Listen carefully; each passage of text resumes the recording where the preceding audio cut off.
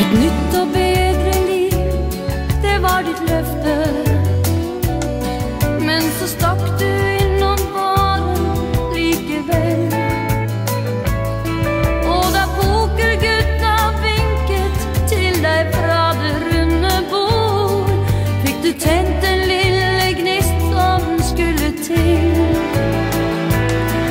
Har du tenkt det nok som så, jeg tar en sjanse.